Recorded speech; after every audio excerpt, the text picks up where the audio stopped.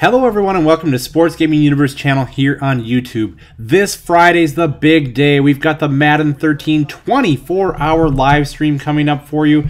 Yes, 24 hours straight of Madden. I already have the retail copy disc. I cannot show you footage of that until the embargo lifts at 5 p.m. Central Time Friday. Hey, that's convenient because that's when I'm starting the 24 hour live stream. So hopefully you'll join us for a first look at the Infinity Engine, which you've seen a little bit obviously in the demo. First look at all the different game modes, such as connected careers. Yes, we're going to get right into that.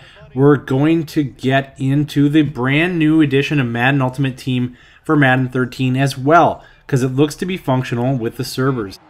Okay, so the live stream will be in four parts, six hour chunks. All the links are below in the description. Click on those, get it bookmarked for part one. We'll see you Friday, 5 p.m. Central, 24 hour Madden. We'll see you then.